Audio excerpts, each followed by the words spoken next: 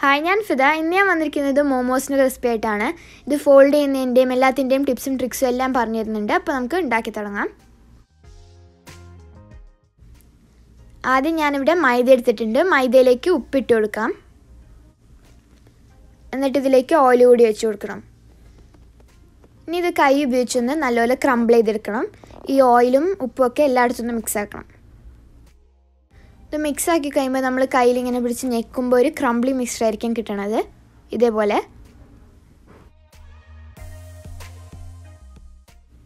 ഇനി നമുക്കിതിലേക്ക് വെള്ളം ഒഴിച്ച് കൊടുക്കാം. കുറച്ച് കുറച്ചായിട്ട് വെള്ളം ഒഴിച്ച് കൊടുക്കുക ആവശ്യത്തിനനുസരിച്ച്.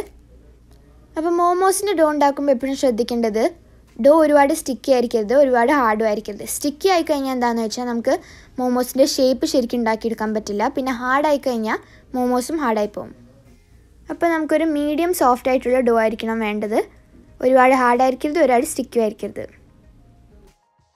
കുറച്ച് കുറച്ചായിട്ട് വെള്ളം ഒഴിച്ച് കൊടുക്കുക. ഒറ്റയടിക്ക് വെള്ളം ഒഴിച്ച് കഴിഞ്ഞാൽ പിന്നെ കൂടിപ്പോകും വെള്ളം.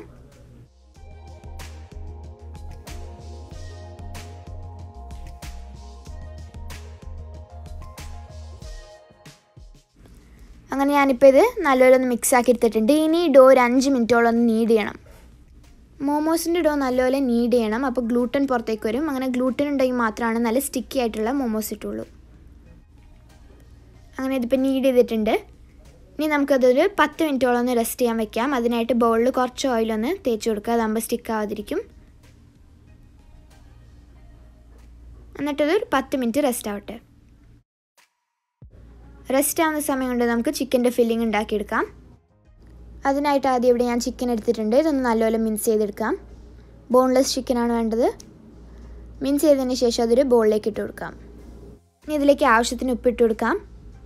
അതിന്റെ കൂടെ തന്നെ ഏകദേശം ഒരു അര ടീസ്പൂണോളം കുരുമുളക് പൊടിയും ഒരു ടീസ്പൂൺ ജിഞ്ചർ ഗാർലിക് പേസ്റ്റും ഒരു ടീസ്പൂൺ ഗ്രീൻ ചില്ലി പേസ്റ്റും പിന്നെ രണ്ട് ടേബിൾ സ്പൂണോളം ചെറിയുള്ളി അരിഞ്ഞത്. ചെറിയുള്ളിക്ക് പകരം വേണമെങ്കിൽ സവാള എടുത്താലും കുഴപ്പമില്ല. ചെറിയുള്ളി ഉപയോഗിക്കുമ്പോൾ കൂടുതൽ ടേസ്റ്റാണ് അതിന്റെ കൂടെ ഒരു ടീസ്പൂൺ ടൊമാറ്റോ പേസ്റ്റും ഒരു ടീസ്പൂൺ സോയ സോസും അതിന്റെ കൂടെ തന്നെ അര ടേബിൾ സ്പൂണോളം വിനീഗറും പിന്നെ രണ്ട് ടേബിൾ സ്പൂൺ പാഴ്സ്ലി രണ്ട് ടേബിൾ സ്പൂൺ ക്യാപ്സിക്കംസ് അരിഞ്ഞത്. ഞാൻ വേറെ വേറെ കളർ ക്യാപ്സിക്കംസ് ആണ് എടുത്തിട്ടുള്ളത്.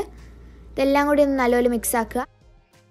അങ്ങനെ ചിക്കൻ ഫില്ലിങ് റെഡി ആയിട്ടുണ്ട്. ഈ സമയം കൊണ്ട് നമ്മുടെ ഡോ നല്ലപോലെ റെസ്റ്റായി ഈ ഡോ കൗണ്ടർ ടോപ്പിലേക്ക് ഇട്ട് കൊടുക്കാം. ഇനി ഒട്ടും നീഡ് ചെയ്യരുത് ഇപ്പോൾ ഇനി നിങ്ങൾ എടുത്തിട്ട് ചെറിയ ബോൾസ് ആക്കി കട്ട് ചെയ്താൽ മതി. ഒട്ടും നീഡ് ചെയ്യാൻ പാടില്ല ഇനി.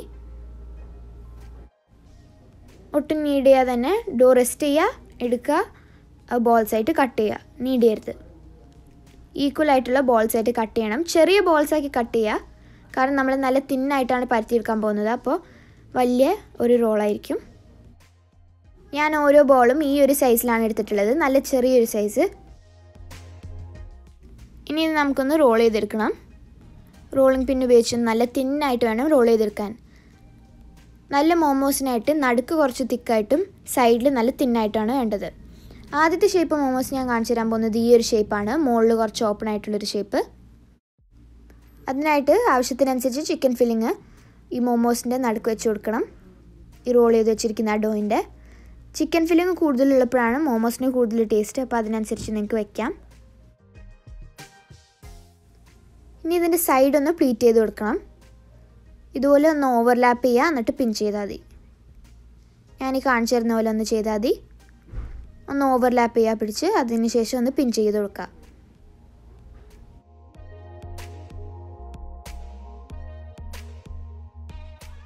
അങ്ങനെ ആ ഫുള്ള് മോമോ ഇതുപോലെ ഒന്ന് പ്ലീറ്റ് ചെയ്ത് കൊടുക്കണം സൈഡ് മൊത്തം.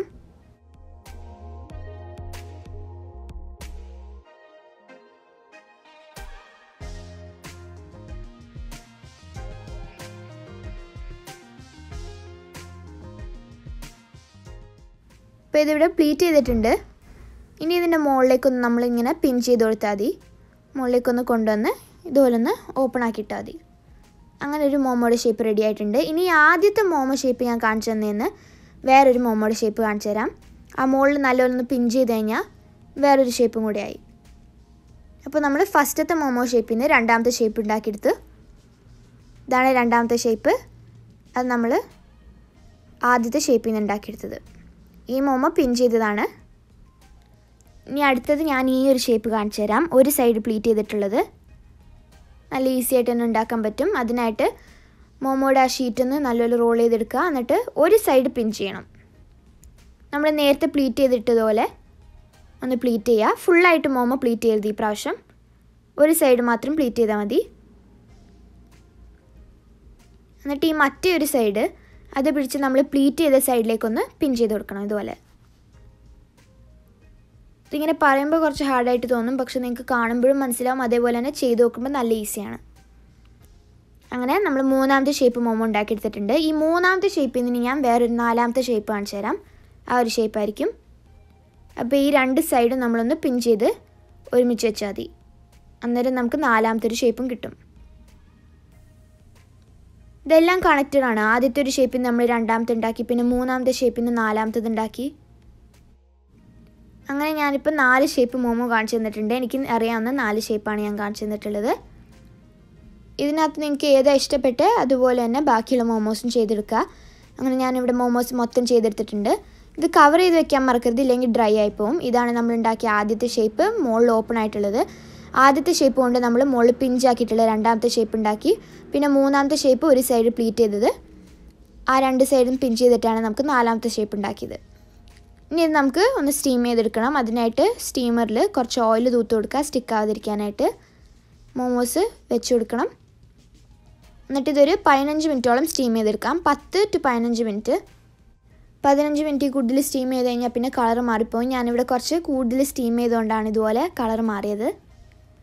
അപ്പോൾ അത് നിങ്ങൾ ശ്രദ്ധിക്കുക അങ്ങനെ ഇവിടെ മോമോസ് റെഡി ആയിട്ടുണ്ട്. ഈ വീഡിയോ ഇഷ്ടമെങ്കിൽ ലൈക്ക് ചെയ്യാനും ഷെയർ ചെയ്യാനും സബ്സ്ക്രൈബ് ചെയ്യാനും മറക്കരുത്. Thanks for watching love cooking bye bye